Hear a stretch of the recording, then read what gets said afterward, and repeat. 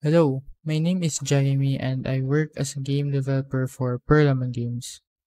If you want to play our games, just visit pearllemongames.com where you can find the games that we created. Also, if you're interested, visit our website to see a guide for building a video games in less than 12 weeks. You can also see the link in the description below. Thank you. Hello, so today I'm going to teach you how to limit the uh, camera of a player. So, for, example, if you click play,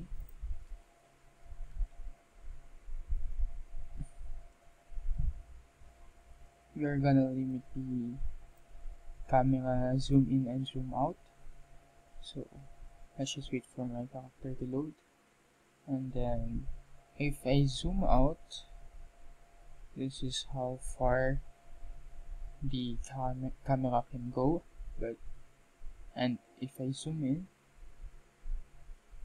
I can switch to first person view or uh, go back to this third person view. So to if you want to change that all we have to do is uh, stop the game and go to the starter player in the explorer tab. And then just click this and drop down. Oh never mind.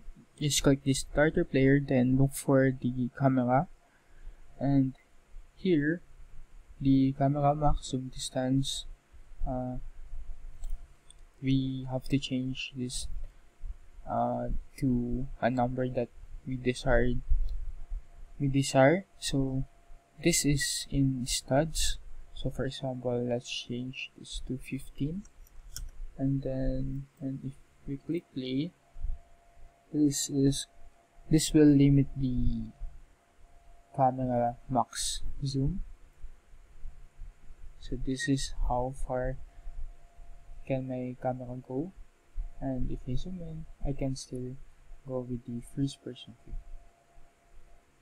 now, if you click stop and if you modify this, if, you want your game to be in first person, all you have to do is like copy this and then add the value, value 0.5 to the maximum distance.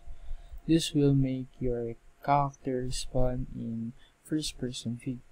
But if you want it to be a third person view, you can do like 10 for both uh, both, both settings. And if, if you click play this will stay in third person and you cannot switch to first person. I'm trying to zoom in and zoom out but it's locked. So yeah. That's all for now and thank you for watching